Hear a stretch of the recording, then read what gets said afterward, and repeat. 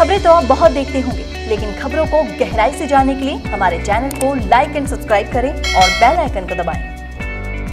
राजनीति में कई परतें होती है, परतों के अंदर कई बातें होती है, और बातों के अंदर जो गहराई होती है, उसको कोई बहुत तरीके से समझ पाए, ये आसान बात नहीं है लेकिन राजनीति के, चाणक्य जो राजस्थान के हैं, जो हर बात की गहराई को राजनीति की समझते हैं वो मेरे साथ है।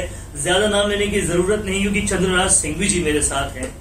सिंघवी जी, बातें जो आज के राजनीतिक गलियारे में चल रही है, वो सबसे पहले कश्मीर का मुद्दा है।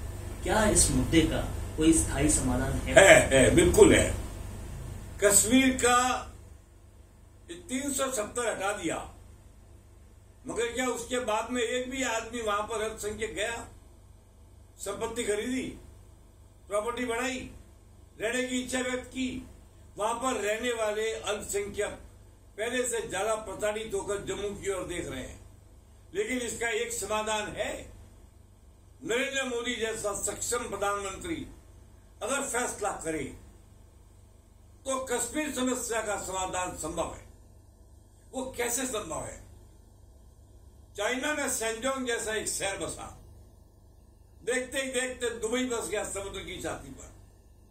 श्रीनगर के समानांतर अगर एक सीमान नगर की स्थापना की जाए और उसकी आबादी श्रीनगर के बराबर पहुँचा दी जाए तो जाकर के आबादी संतुलन होकर वहाँ पर रहने वाले अल्पसंख्यकों को अल्पसंख्यक के दर्जे से बाहर निकाला जा सकता है।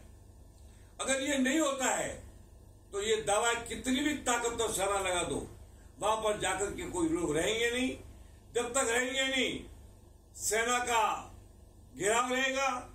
ये समस्या का समाधान नहीं है। कश्मीर के बिल्कुल पास में ही कहीं न कहीं एक श्रीनगर के समानांतर श्रीमान नगर की स्थापना की जानी चाहिए, जिस पर कम से कम दो लाख फ्लैट बने, दस से बारह लाख की आबादी हो। और वो आबादी आबादी के संतुलन के उद्देश्य से वो शहर बसे, तब जाकर के कहीं कहीं कश्मीर समस्या का स्थायी समाधान हो सकता है। अन्यथा फिदाइन हमले का भय पाकिस्तान की हरकतें, पाकिस्तान का रवैया, पाकिस्तान का आक्रामक रुख, भारत के साथ उसका व्यवहार, कश्मीरियों का, स्वयं का खुलेआम न आना इन सब बातों को देखते हुए कश्मीर समस्या का समाधान करने के लिए जब तक आबादी संतुलन नहीं होगा, तब तक समस्या का कोई समाधान नहीं होगा। लेकिन सिंघवी साहब क्या आप इस बात को अप्रिशिएट नहीं करते कि बहुत ही प्लानिंग के तहत तीन सौ सत्तर हटाई गई? पहले पाकिस्तान में वो ट्रेड से खत्म किया गया उसका पैसा खत्म किया गया और पाकिस्तान को कमज़ोर किया गया। अब पाकिस्तान आसानी से आ, हमला नहीं कर सकता। उसके बाद ये सब कुछ किया और अभी भी सिचुएशन बहुत कंट्रोल में लाई गई। ये तो मोदी का करामात है। आम जनता स्वतः कंट्रोल में कहा आई है। ये तो मोदी का चमत्कार है। मोदी ने तीन सौ सत्तर को हटा करके भारत के स्वाभिमान और गौरव को एवरेस्ट इतनी ऊंचाई पर पहुँचा दिया। आज भी मुझे अभी पूरा विश्वास है। मोदी असफल नहीं होंगे। लेकिन समय तो लगेगा। हमने सुझाव दिया है, आलोचना नहीं की है। अगर ऐसे शहर बस जाए, दो चार बड़े या लाखों की संख्या के अंदर वर्तमान अल्पसंख्यक रहने लगे, अपने आप शांति हो जाएगी। क्योंकि वहाँ पर प्रेम और मोहब्बत के नाटक करके पाकिस्तान के प्रति लोगों की गड़ा फैलाना इतना आसान नहीं है। कश्मीर के कण कण में पाकिस्तान ने जहर बुझा रखा है। कश्मीर के एक एक क्षेत्र में पाकिस्तान ने भारत के प्रति नफरत के बीज बोए हैं। उसे हटाने के लिए मोहब्बत भरी जनता का वहाँ बहुमत होना ही पड़ेगा। आज नहीं तो कल ये होना पड़ेगा। ये कोई मुश्किल काम नहीं है। ज़ाहिर तौर पर अगर ये हुआ तो कश्मीर में बहुत ज़बरदस्त टूरिज़्म बढ़ेगा और वर्ल्ड टूरिज़्म की दृष्टि में कश्मीर आगे आएगा, ये तो रही सर कश्मीर की बात। एक दूसरी समस्या जो बहुत ज़्यादा परवान चढ़ रही है, हर जगह उसका नाम लिया जा रहा है और कहीं ना कहीं मोदी सरकार की आलोचना भी उस समस्या को लेकर हो रही है, वो है मंदी। क्या सोल्यूशन है इसका? कब इसका सोल्यूशन होगा? क्या मार्केट डूब जाएगा? क्या कुछ आपकी दृष्टि में है? व्यापार तब होता है जब व्यापारी खुद व्यापार करता है। सरकारी सुविधाओं से व्यापार नहीं होता है। सरकार के समर्थन से व्यापार नहीं बढ़ता है। व्यापार तब बढ़ेगा जब व्यापार करने की लोगों की भावना प्रबल होगी।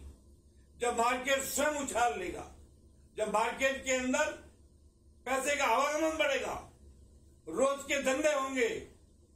इसका एकमात्र तरीका यही है कि सरकार व्यापारियों पर सारे प्रतिबंध समाप्त करे।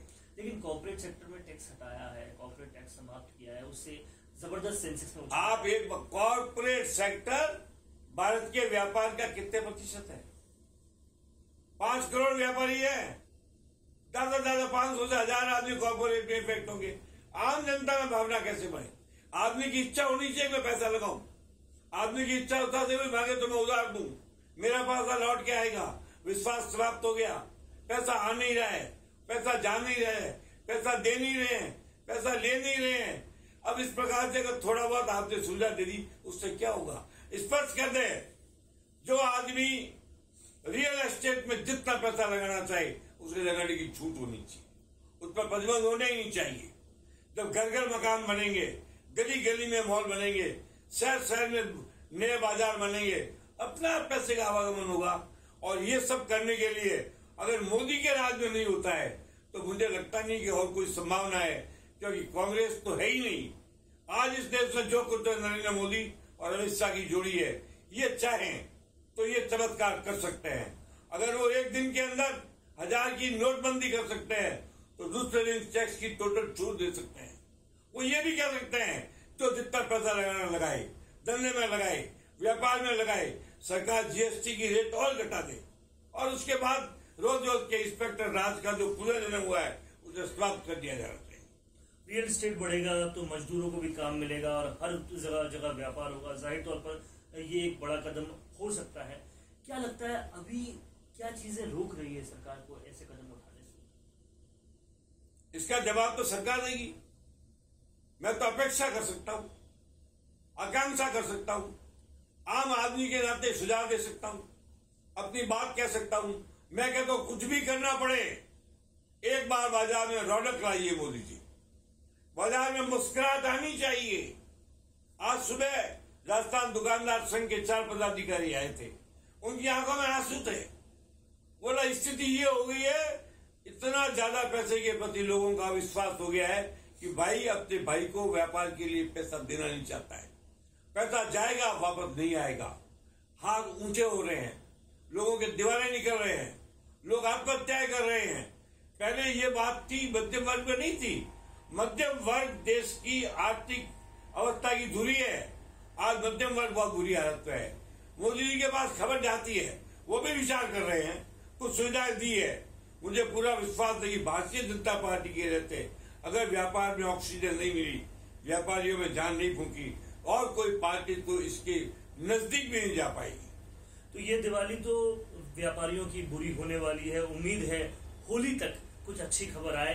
चंद्रनाथ सिंघवी जी के सुझाव जो हैं, आगे तक अगर जाए तो ये सुझाव वाकई बहुत कामगर साबित हो सकते हैं, चाहे वो कश्मीर का स्थायी हल हो या फिर मंदी की ये समस्या हो। ज़ाहिर तौर पर ये सुझाव बहुत ही विचारणीय है और उस पर काम किया जाना चाहिए।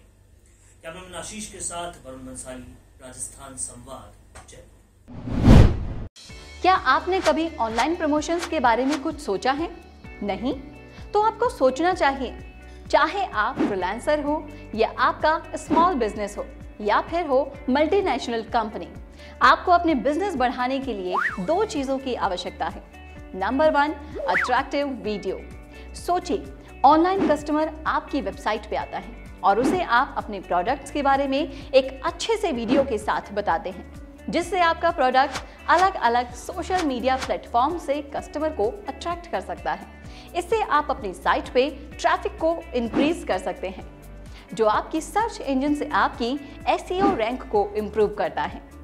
Number two attractive spokesperson आपके प्रोडक्ट को समझाने के लिए स्पोक्स पर्सन आपकी मदद करेगा। मिशी मीडिया सॉल्यूशंस देता है आपको एक अच्छा video advertisement Mishi media solutions आपको सोशल मीडिया प्लेटफॉर्म्स के ज़रिए अपने प्रोडक्ट्स को आगे बढ़ाने में मदद करेगा। वो भी बिल्कुल किफ़ायती दामों में। तो फिर देर किस बात की? आज ही कॉन्टैक्ट करें। स्क्रीन पर दिए गए नंबर पर।